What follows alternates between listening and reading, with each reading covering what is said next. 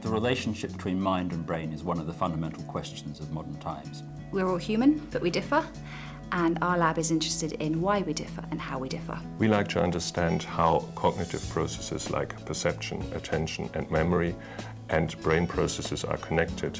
We're studying babies with Down syndrome in order to understand Alzheimer's dementia in adults.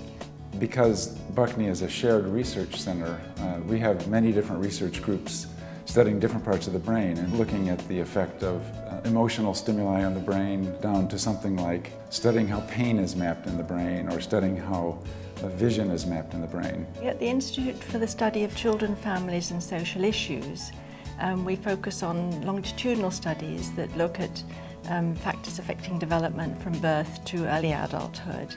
The Alpha Lab looks at how the brain redeploys itself, so reorganizes itself to do very complicated auditory processing skills. The sorts of projects we're doing, for example, how do people make sense of the process of the transition to retirement? Another project looking at how people, uh, what's it like bringing up a child with learning disabilities? We look at two, two areas essentially. One is affective neuroscience, and in this we are looking at how emotional processing takes place. The other area of research is called inattentional blindness.